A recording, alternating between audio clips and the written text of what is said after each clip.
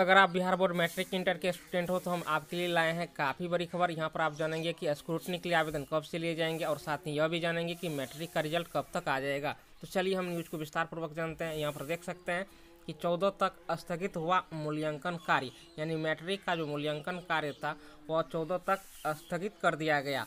पहले इकतीस मार्च तक किया गया था, अब चौदह अप्रैल तक कर दिया गया है। तो चलिए इस न्यूज़ को भी जानेंगे, और यह भी जानेंगे कि मैट्रिक का रिज़ल्ट कब आएगा। तो यहाँ पर है कि वार्षिक माध्यमिक परीक्षा 2020 का मूल्यांकन अब 14 अप्रैल तक स्थगित रहेगा। इस, इससे पूर्व, इसे 31 मार्च तक के लिए स्थगित किया गया था। इसको लेकर बिहार विद्यालय परीक्षा समिति, परीक्षा नियंत्रक ने सभी जिला शिक्षा पदाधिकारी तथा सभी मूल्यांकन केंद्र निदेशक को आवश्यक दिशा निर्देश जारी कर दिए हैं। नियंत्रक ने कहा कि राज्य में कोरोना महामारी से निपटने के लिए 14 अप्रैल तक लॉकडाउन लगाया गया है। ऐसे में इससे पूर्व मूल्यांकन करना संभव नहीं हो पाएगा। ऐसी स्थिति में मूल्यांकन 14 अप्रैल तक स्थगित रखा गया है। पत्र में जिला शिक्षा पदाधिकारी को निर्देश जारी करते हुए कहा कि विस्तारित तिथि के आलोक में अपने अधीनस्थ मैट्रिक परीक्षा मूल्यांकन केंद्र निदेशक को सभी मूल्यांकन केंद्रों पर मूल्यांकन कार्य के लिए उपयोग किए जा रहे उपस्कर तथा मूल्यांकन हेतु शेष रह गई उत्तर पुस्तिकाओं की समुचित सुरक्षा की व्यवस्था सुनिश्चित करने के लिए निर्देश जारी किए हैं। अब यहाँ पर देख सकते हैं कि अब जो है, पंद्रह के बाद आएगा मैट्रिक परीक्षा का रिज़ल्ट। तो यहाँ पर देख सकते हैं कि चौदह अप्रैल तक मैट्रिक की कॉपी नहीं जांची जाएगी। तो यहाँ पर देख सकते हैं, बिहार विद्यालय परीक्षा समिति ने आगामी चौदह अप्रैल तक के लिए मैट्रिक की कॉपियों की जाँच स्थगित कर दी है, लॉकडाउन के कारण।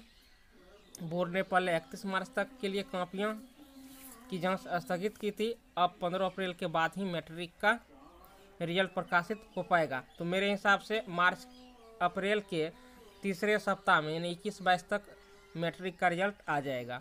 अगर चौदह अप्रैल, पंद्रह अप्रैल से कॉपी जाँच शुरू हो गया, तब। अगर मान के चलिए कि लॉकडाउन की तिथि आगे बढ़ गया तो फिर तब मुश्किल है। अगर पंद्रह अप्रैल से शुरू होती है तो समझ लीजिए कि आप लोगों का इक्कीस या बाईस अप्रैल को आ जाएगा। अब हम बात कर लेते हैं स्क्रूटनी के लिए आवेदन के लिए। तो यहाँ पर देख सकते हैं कि बिहार बोर्ड पंद्रह अप्रैल से लिए जा सकते हैं स्क्रूटनी के लिए आवेदन। संवाददाता पटना, यहाँ पर देख सकते हैं कि बिहार बोर्ड इंटरमीडिएट परीक्षा के स्क्रूटनी के लिए आवेदन 15 अप्रैल से लिए जा सकते हैं। इसके लिए बोर्ड के अधिकारियों ने बताया कि 14 अप्रैल को लॉकडाउन खत्म होने के बाद 15 अप्रैल से स्क्रूटनी के लिए आवेदन लिए जा सकते हैं। इसके लिए छात्रों को प्रति सब्जेक्ट सत्तर रुपये देने पड़ेंगे। तो ये काफ़ी बड़ी खबर है। जो भी छात्र इंतज़ार कर रहे थे स्क्रूटनी का फॉर्म कर कब आएगा? तो आप लोग जान लीजिए कि स्क्रूटनी के लिए ऑनलाइन आवेदन पंद्रह अप्रैल से लिए जाएँगे। अब हम बात कर लेते हैं। यहाँ पर देख सकते हैं कि भागलपुर में कोरोना के छः मरीज़ की स्थिति में सुधार। अब यहाँ पर देख सकते हैं कि भागलपुर अब बर्ड फ्लू की डर से 300 मुर्गे मार कर फेंका। तो यहाँ पर देख सकते हैं कि 300 मुर्गा को मार करके बर्ड फ्लू के कारण फेंक दिया गया है। तो आप लोगों में से बताइए कि कौन कौन मुर्गा खाते हैं। कमेंट करके ज़रूर बताएँ।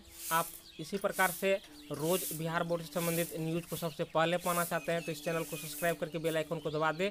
वीडियो देखने के लिए धन्यवाद। जाइए वीडियो के डिस्क्रिप्शन में, व्हाट्सएप ग्रुप को ज्वाइन कर लीजिए।